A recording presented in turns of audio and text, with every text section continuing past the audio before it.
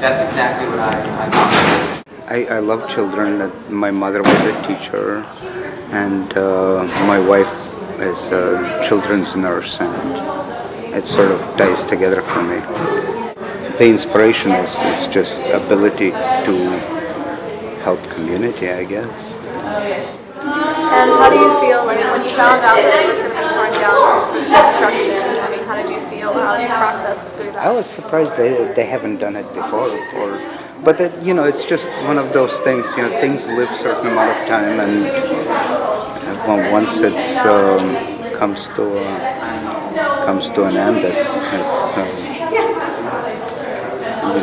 other things can take place.